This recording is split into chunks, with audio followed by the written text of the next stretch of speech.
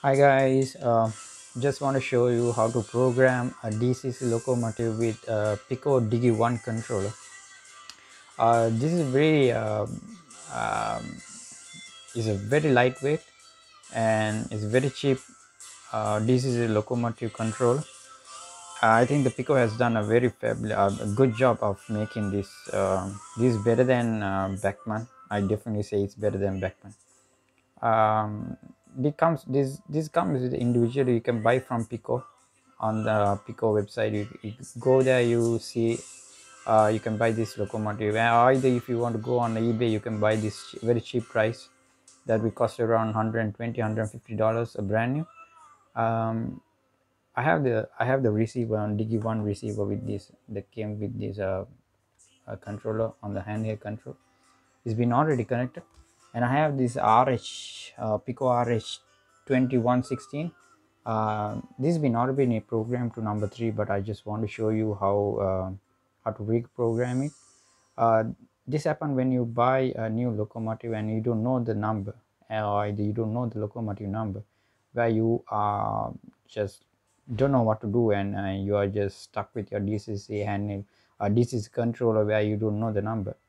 So uh, it's very easy and um, I have this. Um, uh, there are a lot of features we can do on this Piko Digi, but I just want to show you just uh, basics. Um, uh, on the on, on the on the on the handheld control uh, on this button, the locomotive this is where you initiate the selection of loco address. Um, this is already been programmed to number three, but I just want to show you uh, just how it happens. So once you program into the number that you want, but this has been already been programmed to number three, so I just want to show you. Just press once and then press three, and the directions of these uh, you can choose where they left or right, but I think this is already been going to left side yeah yeah that's left okay um just keep it as that um and there's another button down here. Uh, this is to initiate the accessory address the where you can select um, right or left loops uh, then signal lights or whatever it is what you want to program. And this is where the third button where you initiate to program the loco decode um, it's really easy but uh, just want to show you the basic installation and uh, as I told you that if you don't know the locomotive address then the best thing is uh, you keep the locomotive on a single one single track and uh, it should be not uh, there should be not any uh, locomotives in be on the same track um, if you keep one of the extra locomotives on the same track what will happen is that uh, the both both locomotives will be programmed to the same address that you're going to do it. So it's better you have one single track and one single uh, locomotive at once. And um, and um, there are so much of features as I told you. Uh, I have these um, um, the the red and green buttons on this remote actually um, you can control the lights uh, and you also you can control the sound but unfortunately i don't have the sounds on my uh, locomotive but you just press this uh, button here down here. Uh, you can see the lights switching off and the lights coming back again. Yeah. It's pretty much a good um, DC handheld controller. Uh, I would definitely recommend to any uh, startup guy who wants to start up model railway. This is the best ideal um, handheld controller. A very cheap it's really cheap um, you can contact me if you want. I can help you out to buy. Um, let's see how we to program this. Um, here we go.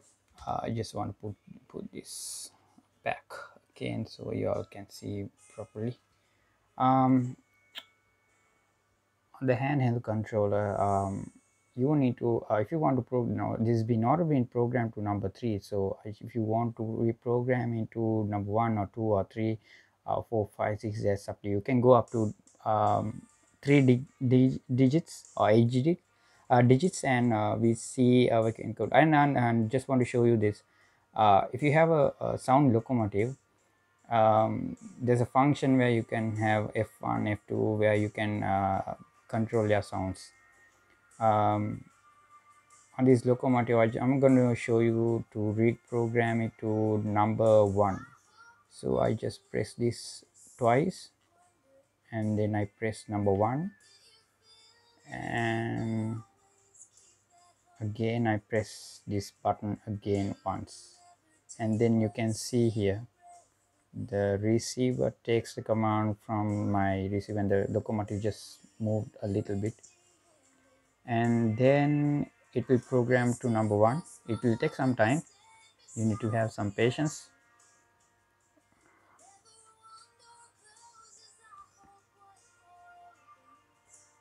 I'm sure that's I'm sure there will be some lights coming up from this side which side. Ah okay. Here we go. It's been programmed. So it's been done. And the locomotive address is programmed to number one. So I just press this loco initiated number one. And then I press the direction and the speed. It's been already programmed to right. So oh here we go that's it. It's very easy simple um, very um, uh, okay here we go. Just coming back this side. So okay. that's it guys. Um, thank you for watching and please subscribe my uh, channel and please give a, a thumb and we will catch you up on another day. Thanks a lot